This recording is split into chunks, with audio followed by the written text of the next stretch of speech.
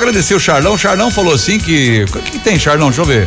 Charlão diz que tem o Túlio do Tempo, 70, 80 e 90. DJ Charlão, Fábio Cabeção e DJ Corporations. Dia 26 é sábado agora, Charlão. Que beleza, hein? E hoje tem ensaio do passinho flashback lá no espaço galera da FEPAS. Olha só, o pessoal vai ensaiar o passinho, bicho. Isso é show demais, né? E a galera pedindo